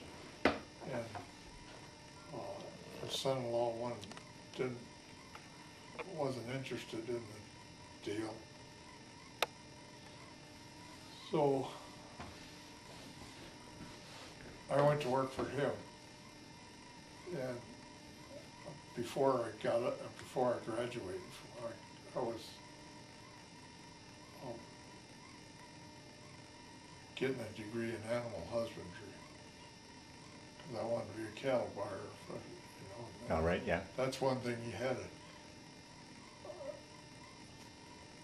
like Armour and Swift and Right. Cudahy, they, if you, you had to have a college degree in animal husbandry, so, but then I, I thought, you know, this was a, looked like better deal to me. So I, I went in with this guy, um, he made me, he formed a corporation, he was giving me stock in the corporation plus a little bit of salary. And, uh, he had, uh, um, he owned a drugstore, Fort Collins. And he sold the drugstore. And when he was forty-six years old, we, I'd been working for him for about a year and a half, I guess. He had a heart attack and died. And they froze all his assets. And, oh, his wife had some brothers down in Kearney, Nebraska. And they knew that there was a B twenty-nine base in Kearney, Nebraska that had been built on really good farmland. And they poured these big concrete runways to land B twenty-nines on. Then they leased, they leased the whole air base to the city of Kearney. And these guys, these brothers, uh, uh, this guy's wife, knew the guys running the, uh, air base there. And so we took the cattle that we had up there at Fort Collins down to Kearney to the air base to pasture them on the cornstalk pasture that they were growing corn between the runways and stuff. And I went down there with them. And his wife wanted to sell out everything. So, uh, I knew I was gonna, wasn't gonna be able to do that anymore, and I came to see the head cattle buyer at the Denver Stockyards. And Told him I was looking for a job, and he says, he took me over to the general manager and, and, uh, said, yeah, well, we're glad to have you come to work here. So when that finished with that outfit down in Nebraska, I came. And, uh, the, the general manager at Armour had a, uh, a program where if you were gonna be in the management part of the packing house, you had to work at different departments. Oh, sure, yeah. in the packing house. And I, when I first started there, I'd worked there before in summer vacations and stuff, uh, at the feed lot, and so I knew some of the guys. And I, but they put me to grading sheep on the killing floor. And, uh, the sheep grader was the last guy on the chain. The guy just ahead of the sheep grader. They dressed out a lamb, they had them on, legs on two hooks, they put both legs on one hook, tied them together and they put a shroud on them. So they cure smooth in the free, in the cooler. And then the sheep grader take them off the hook and hang them on a scale weigh them and sort them on different scales that were going to the cooler according to weight ranges. That's what they called grading sheep was putting them in the right weight range. And, um, so, it was a, it was a heck of a job. Being the last one. And if the, like, I remember eighty-five lambs an hour, you did it by yourself. They went up to hundred and ten lambs an hour, you got a helper with you. But the guy, the general manager's name was T.J. Tynan. He had a son named Ed Tynan he wanted to be in the meatpacking business. So he sent Ed Tynan up to the kill floor to, for me to teach him how to grade lambs. Cause I'd been there about six months and I was about ready to go to another department. And Ed Tynan worked there about a week. And he said, to heck with this, I'm not, I'm not gonna be in the meat packing business. So he quit. Upset his father when he quit a little bit, but he, he went into the automobile business and formed a company called Tynan Motors and his Tynan, Tynan Motors are on cars all over Colorado. Yeah. You probably heard Oh, of yeah. Tynan Motors. Uh-huh, uh-huh. And that was Ed Tynan, that was the general manager's son who wasn't gonna work in the packing house. And so, he made more money than his dad did. Got more famous and everything. Uh, Then I, I went from the, working inside the packing house to the hog buying department. They Taught me how to be a hog buyer. And then they quit killing hogs in Denver. They, uh, so then I transferred me to the cattle buying department.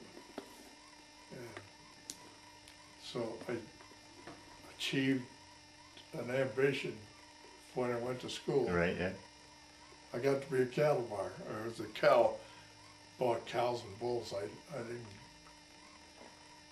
uh, get to buy fat cattle, but we, they, we bought a lot of cattle up here in northern Colorado and, and one of the buyers had to be um, at the scale where they loaded them to weigh them to ship them to Denver. And they always did that on Sunday morning because, uh, to get the cattle down there, start, open up the kill on Monday. And usually I got stuck with coming up here to uh, weigh the cattle. All, that's all I had to do, I had to drive up to Eaton or Ault or Greeley or someplace and, and be there, make sure they balance the scale and everything. Um, So then, they quit, uh, well, after they quit killing hogs, pretty soon they closed the big packing house in Denver. And Armour bought a, an outfit, there was an outfit called K and B Packing Company, and they, they had a smaller packing house, and Armour bought that one.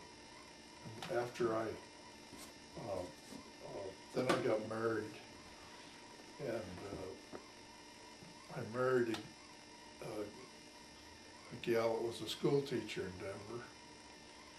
And, uh,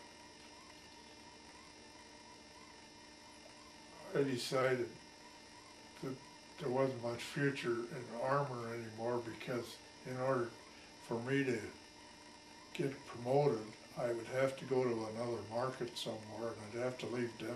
Ah, yeah. So, um, and things were changing there anyway. In in fact, the, the hog deal, they used to buy hogs in, in Iowa and Illinois and Nebraska, put them on a railroad, bring them to Denver, unload them and feed and water them, put them back on the railroad and take them out to California. Hmm. And butcher them out there. Then they started building refrigerated trucks and they would take produce from California, fruit and vegetables, in refrigerated trucks back east. And they were bringing refrigerated trucks empty back to California. Ah, okay. So they decided they could butcher the hogs back where they were growing them, put them in a refrigerated truck, haul them out to California all dressed out, and they wouldn't have the death loss or the bruises or Mm-hmm. all the problems they had.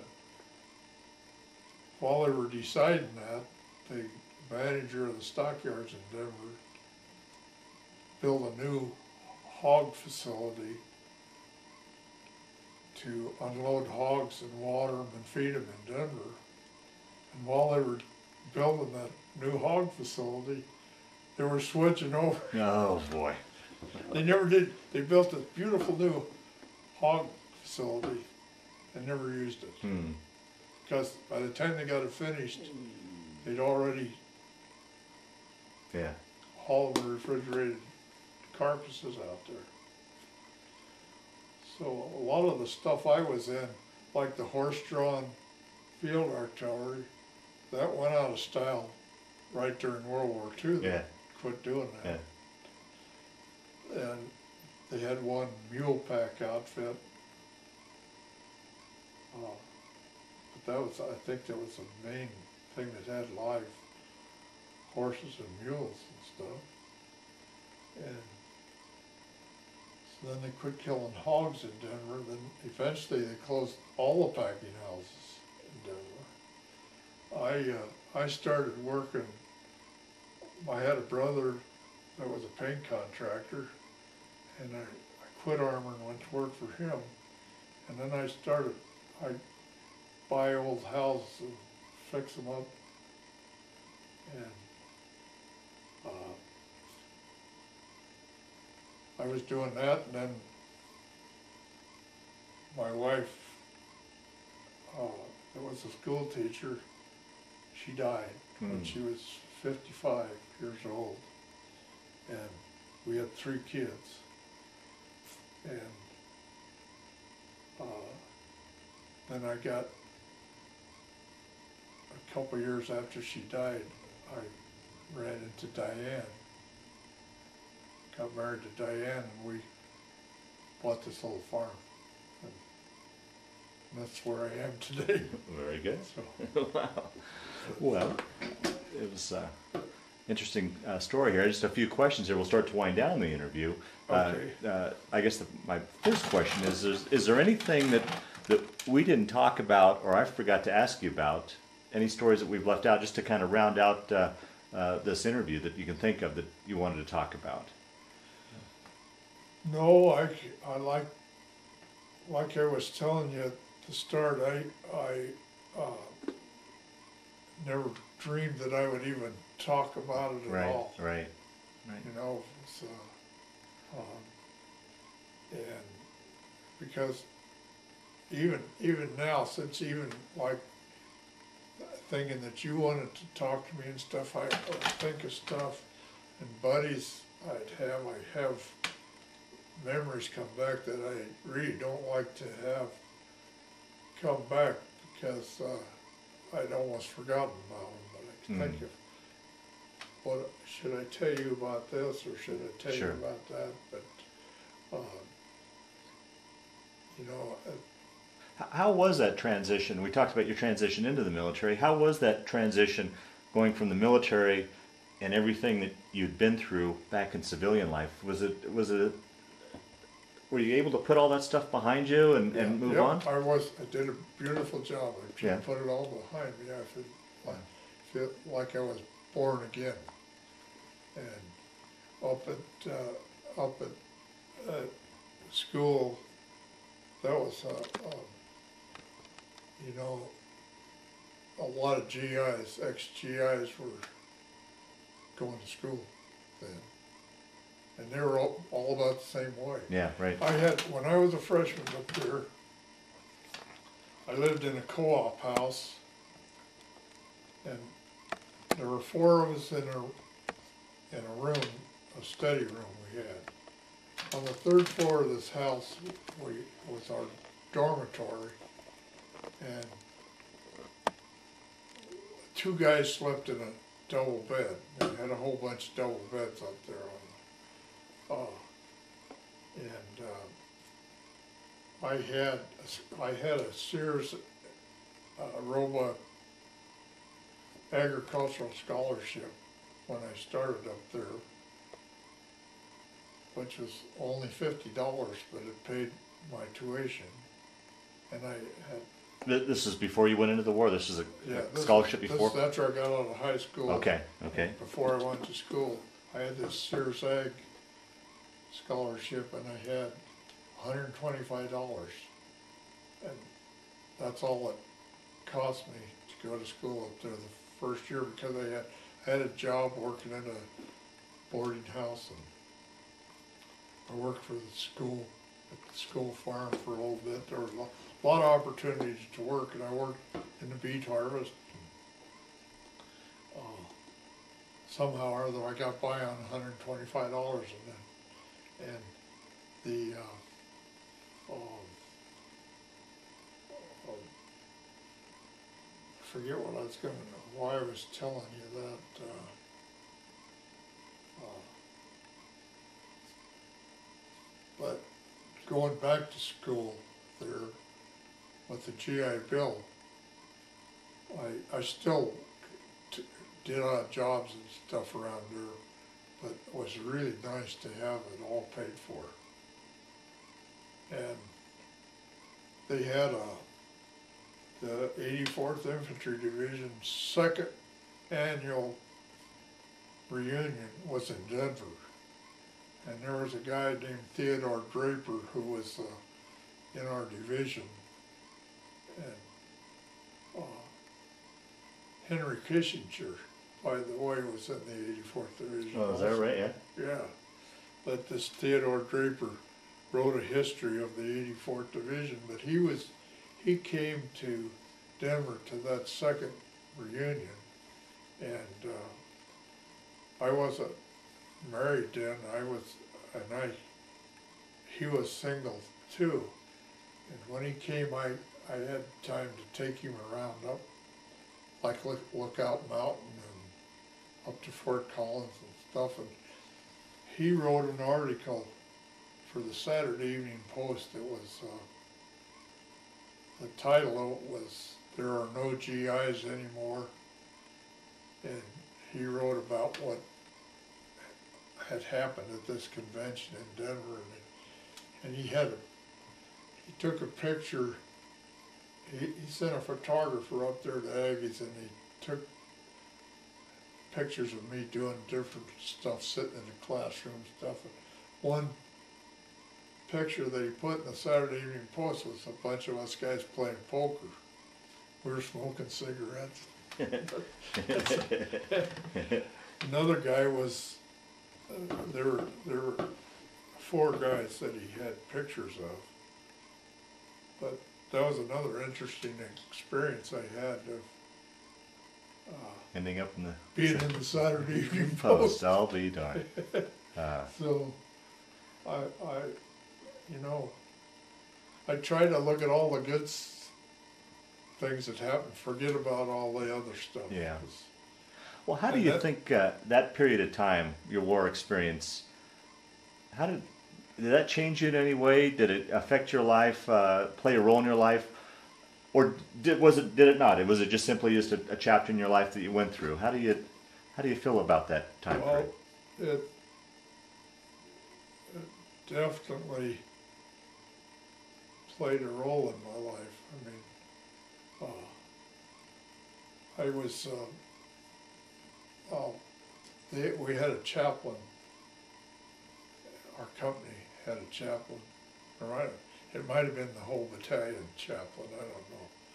But we would have a church service uh, in the rest area. And I, I know he had a, he had a flag that was a cross.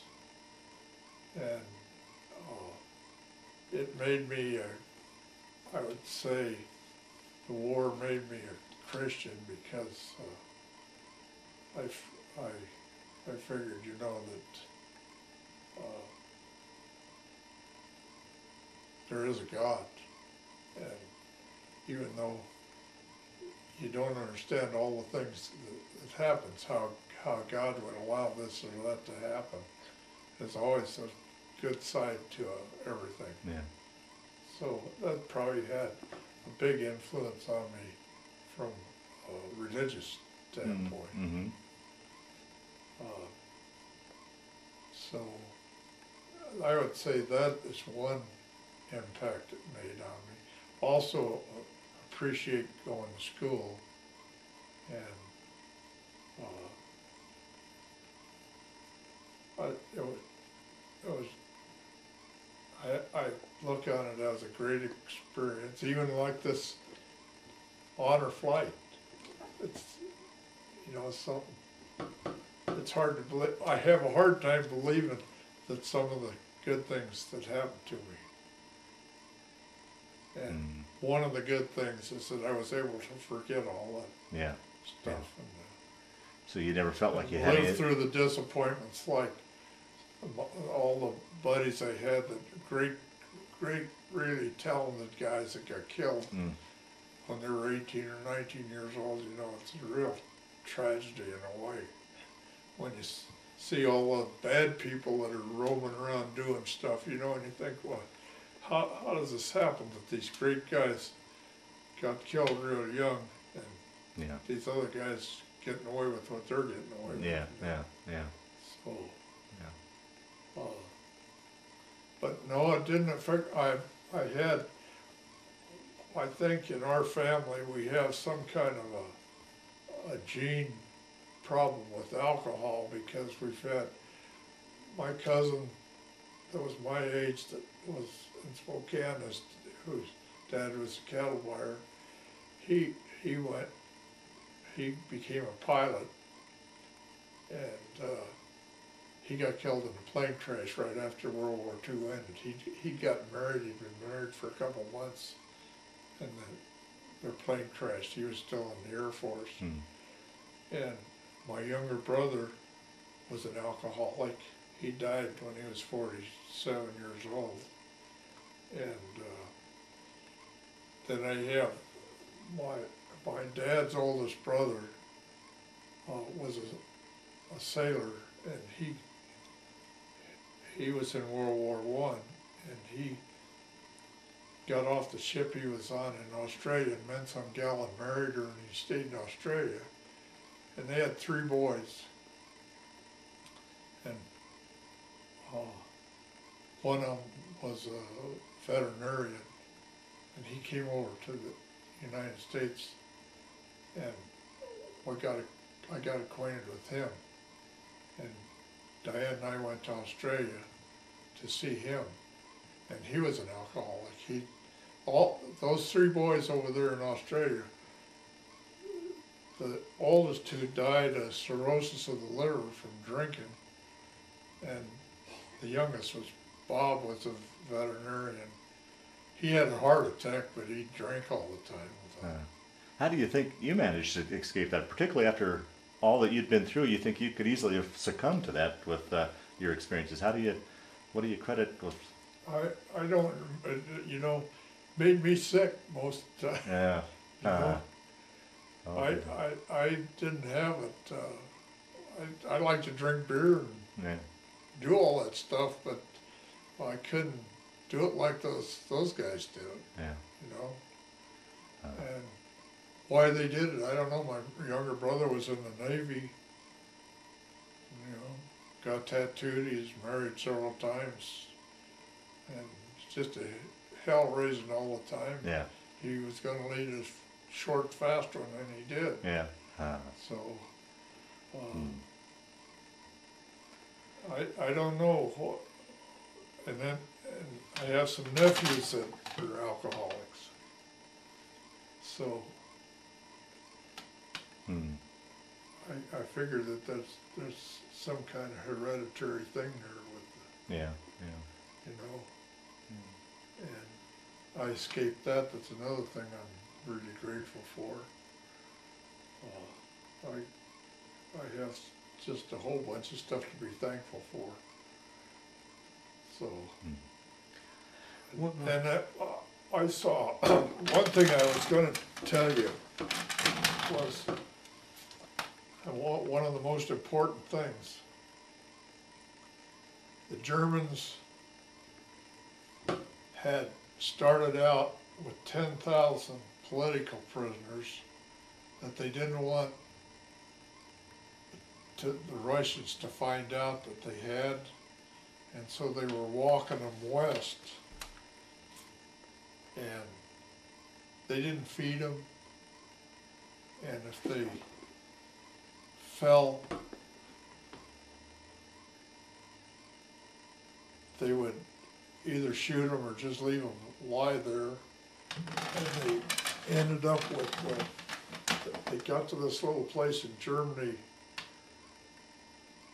with two thousand left out of the ten thousand. And there was a great big stone barn, had four great big doors on it. And they put oil and gas, poured it on the floor and covered it with straw. And they put these two thousand people in there. And they had tanks with machine guns at each door and they threw incendiary grenades in on the barn, set the whole thing on a big fire, and the ones that tried to get out, they machine gunned them, and there was about a half a dozen of them that fell in the doorway, then dead bodies fell on top of them. And after the fire went out, the Germans uh, went around hollering, anybody need any help, if anybody said they needed some help, they shot them. Well, uh, the reason they had done that was the Allied forces were closing in on them from the west, and, and, uh, so they, uh, when they, they got there, of course, the Germans had taken off that had done that, but they, they had a bulldozer there and they were, they dug a great big trench, like, it's like a pit silo, and they were bulldozing bodies in there when the Americans got there. They took off. Well, that general, the commander of the army that discovered that, uh, they had the German civilians in this little village where they they'd done that. The women, the kids, the old men and everything, they had them up there dragging all those bodies out and, and uh, blinds. And he wanted everybody, uh, every outfit there to send somebody there to witness that, come back and tell their outfit what they saw and how, how terrible that was. And they sent me to see that. Oh, jeez. And it was, it was really something because their, their bodies, their legs and their arms were just skin and bones and, and their bloated midsections of the ones that were, there were uh, hands burned off against the walls of the barn Mm. and oh, it's just terrible. But there was, there was, a- but there were these six survivors that uh, were able to tell the story of the mm. ten thousand, start with and what happened to them all, all along the way. And so that this American Army general wanted everybody to, like I went back to our company to tell them what I had seen and that they were to write home and tell their folks how terrible the Germans were. Wow. And it was, that, that, probably more than anything else, seeing that made me realize how important it was that the United States had gone to war, got rid of Hitler and the Nazis, you know Yeah, yeah. how terrible how one human being could do that to another human Yeah. being is beyond my imagination. Oh, it's, uh, yeah, it was a, it was a terrible thing. Wow, wow. They actually had, you know, and they, you know, they did that with the Jewish people, they killed millions of them. Right. Yeah. Have you ever had a chance to go back to Europe since, uh, you know, to vi- revisit any of the places you'd been, Walt? Leo and me, uh, the the name was Leo Schleifer. They, they came over here. And uh, while they were here, uh, one of the, I, we own shares in this ditch. And part of the responsibility is like I have to clean the ditch from Road Three back to my property line. And we had torn down a chicken house and I had a pile of two-by-fours and, and different boards with nails in them and stuff. So while Leo was here, I had some things I had to do a couple days. And one day I had him help me clean the ditch. And it was a hot day and it was a dirty job and everything and he, but he worked all day. And then one day I had to be gone, I had him, gave him a crowbar and a hammer and had him pull the nails out of those two-by-fours. And the rest of the time we spent having fun with them. But then, a couple years after they were here, they invited us to come to Holland. So Diane and I went over to Holland. And they met us at the Amsterdam airport, and they lived clear up in the end of Holland, it was close to Belgium and Germany where we had stayed. Right. They still lived in the house that we'd stayed with them. And they, they took us up there, and he had, after he got out of high school, he joined the Dutch Navy, and he was on a ship, and the guy that had charge of all the food service on the ship had a heart attack and died, so they made Leo with the charge of all that. He learned how to cook and manage a kitchen and everything. So when he got out of the Navy, he opened up a bar and a restaurant. And he did so well at that that he started a school on how to run a bar and a restaurant. And he was a wealthy guy. When we got over there to their house, they had hired people that did all their yard work and stuff. Oh. And here he, he was, I, I felt kind of bad about that. Yeah. Cause, uh, and then, uh, he took us all around, there's a cemetery in Holland, it's a World War II cemetery called the Margraten Cemetery. It's in Holland. And most of the, or a lot of the 84th Division casualties are buried there. Oh, wow.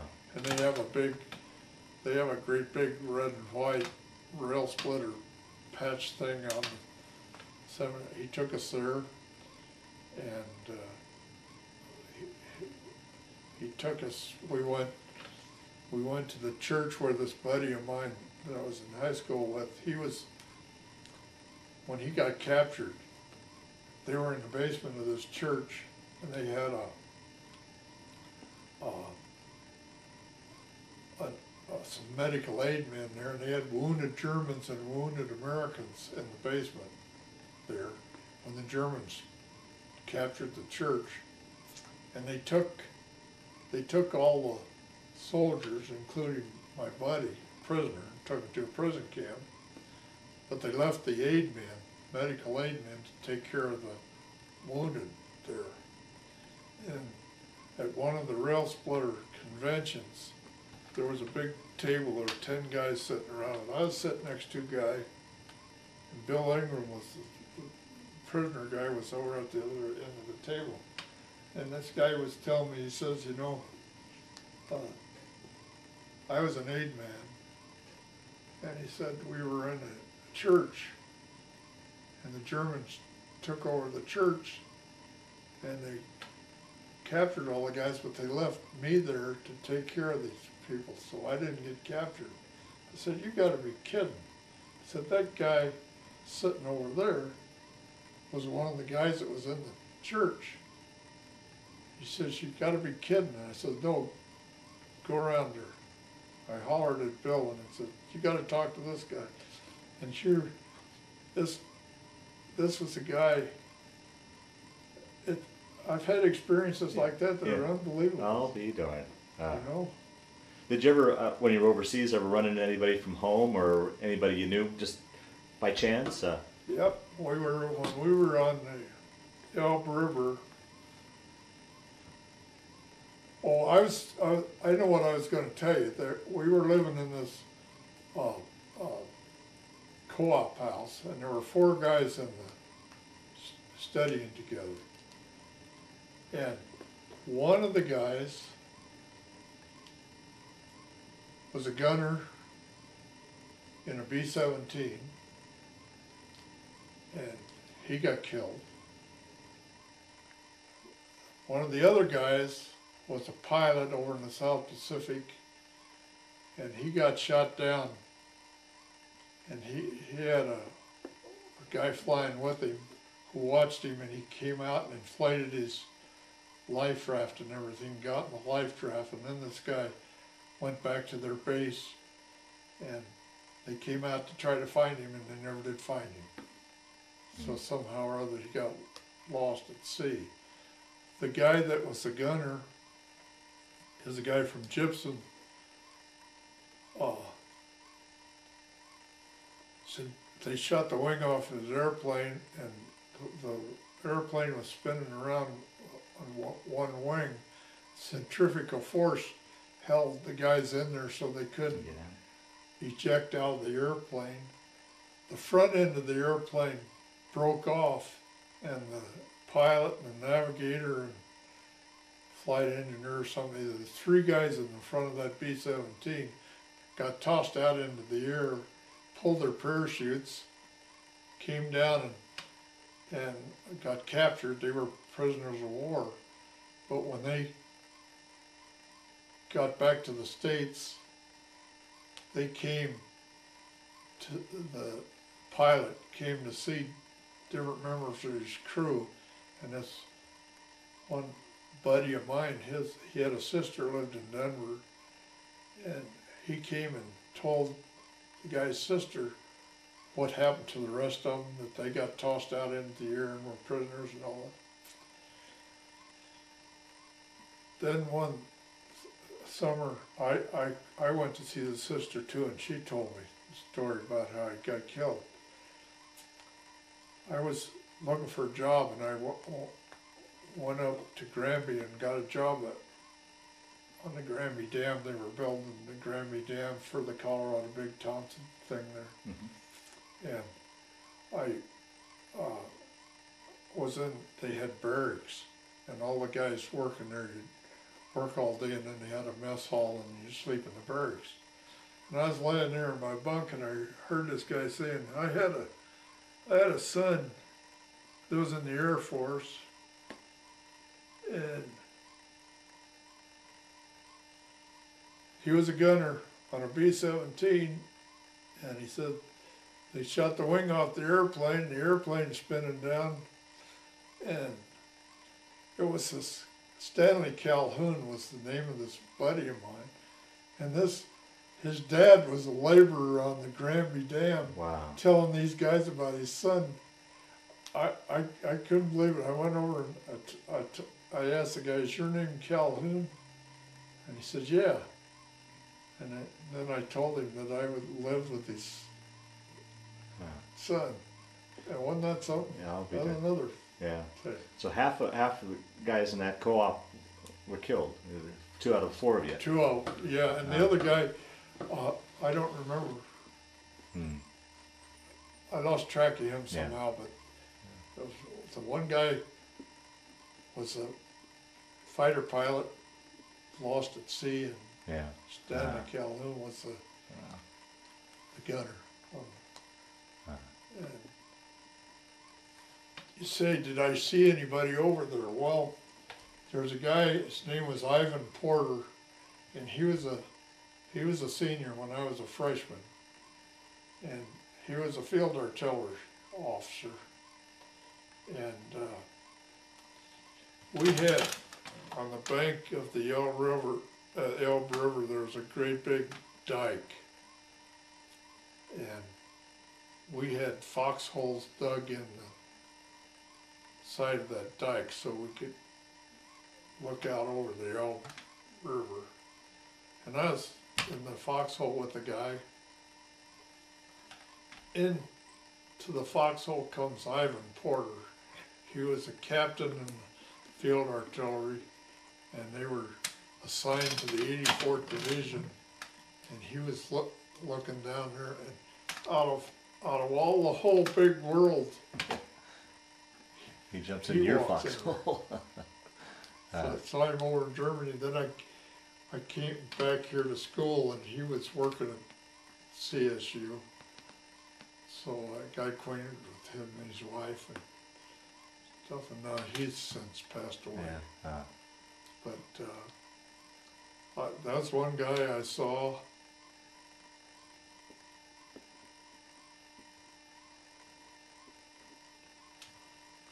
I can't remember. uh,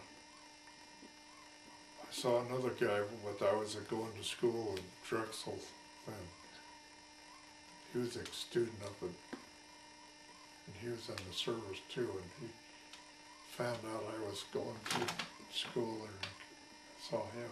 hmm. So, um, I was, I, I was really lucky that way. Yeah. But- Yeah. Yeah. Those are the things I've thought about most since started talking to guys like you, Yeah. you know. Uh, The other terrible things I, it, like if you, if you would see a real bad automobile accident, see somebody torn in half, you, you try to forget Oh, you bet. Oh, sure. Can't you describe it to Oh, that's that's understandable, and it's a good thing that you're able to. They're able to to, to, to block those I out. could, Yeah. blank- Yeah. I, Blanked this stuff off, Mm. and Diane, I never, I, I really never dreamed that I would ever be back to the United States, because we, we just, the- the odds were too far Right. against you. Yeah. You bet. Yeah. And, uh, So try to, to be as comfortable as, as we could, Yeah.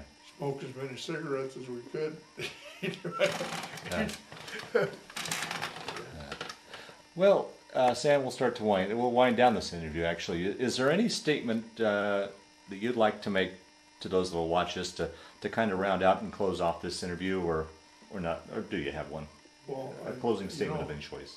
I, I really think it's great that, uh, somebody like you would devote some time to doing this, you know? Uh, Whether anybody else would ever be interested in it or not, uh, you know, would make me wonder, but I have, I enjoyed reading that, that guy over in Glenwood Springs, I wanted to meet him. Cause he, he had real talent to write about Mhm. each one of those guys, you know? Yeah. And Larry, Larry Moses is, uh, you know, really impressed with him. He did a lot of work writing that book and, and, uh, came to see us. I would say that it's, it's a good feeling to know there are guys like you and guys like the honor flight that are putting all that effort into, uh, you know, being nice to guys like me. Well, I can't speak for them, but for myself, it's my way, of, my small way of saying thank you for what you did. So, but uh, well, we'll close her off then. I, uh, uh, Sam, I want to thank you for uh, for sitting around and telling your story today. But more importantly, I want to thank you for your service to our country. It's, it's amazing. Explain what it is. All the stuff, anything you want to explain in this? This is a wonderful Okay, collection. This is a, this is a presidential unit ci- a citation for our regiment. Uh, This is a shoulder patch for the ASTP program. This is our division insignia. This is a combat infantry badge, which is the most thing I'm most proud of. Oh, sure, that's a that's a high honor to, to Yeah, accomplish this is a Bronze Star. This is a Purple Heart. This is a Good Conduct Medal. This is American Victory Medal. This is a European Theater with three battle stars for the Rhineland and the Ardennes and Central Europe. And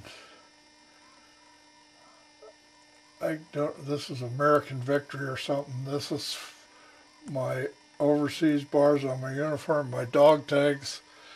This is a, a uh, German Army uniform sign and an SS identification, and this is a picture of I Company. Now, this SS, this is what you took off the SS officer. These, This is what I took off the SS officer. Okay. Yeah. And uh, that's a wonderful display. where's my ruptured duck? And that, that's this is a,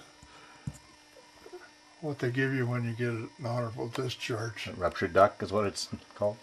And so